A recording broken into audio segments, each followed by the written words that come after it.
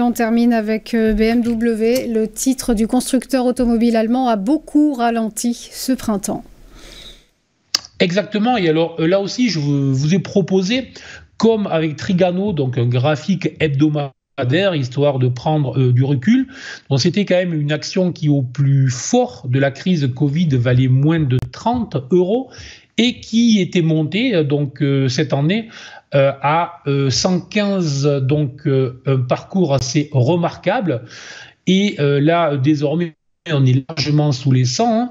et tout simplement, on voit que la valeur évolue dans un long canal ascendant qu'elle a bloqué en fait sur, sur un ancien niveau de résistance qui était située sur le niveau des 113 avec une petite poussée qu'on appelle une fausse cassure. Cette fausse cassure a généré euh, des replis désormais sous les 100 et dans les prochaines semaines, peut-être que la valeur va venir essayer de s'appuyer dans une zone clé qui est située autour des 85-86 euros.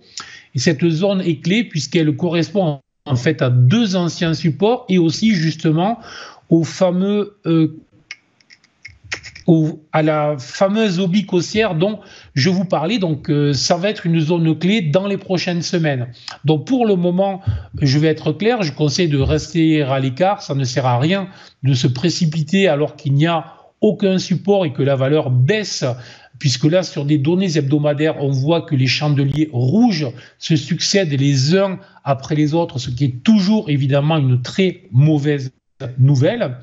Par contre, si jamais la valeur venait à perdre encore 7-8% dans les prochaines journées ou les prochaines semaines, ben là, je conseille euh, euh, de surveiller parce que probablement, euh, sans, sans dire que ça serait un, socle solide, un support solide pour un rebond durable, on aurait probablement un rebond d'une grosse dizaine de pourcents dont les traders pourraient, pourrait profiter euh, sur un horizon de plusieurs jours. Voilà. Donc pour le moment, je suis à l'écart et je surveille pour un achat sur repli.